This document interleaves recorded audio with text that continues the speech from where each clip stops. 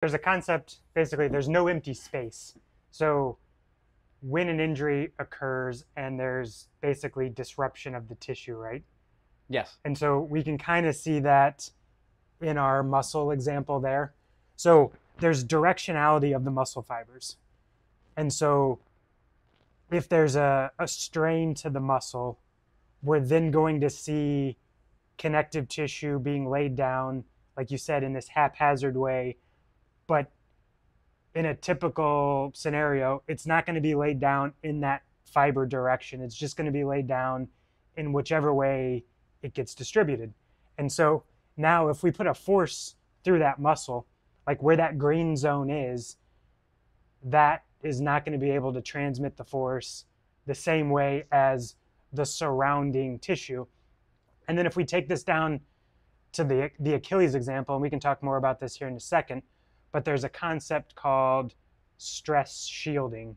And so where the, the kind of the black squiggly line is, that's basically again where where the fiber disruption occurred previously. And so now that density is actually less than the surrounding tissue. And so the way that force transmits through tissue is it basically goes through the fibers that can transmit the force the best. And so it avoids putting stress through that particular area. And what we know about tendons, tendons require load to maintain their health. So if we are loading more in that green area and the force is being kind of curved around that disrupted area, that whole right side of the tendon is now atrophying to a certain extent. It's losing its ability to accept load.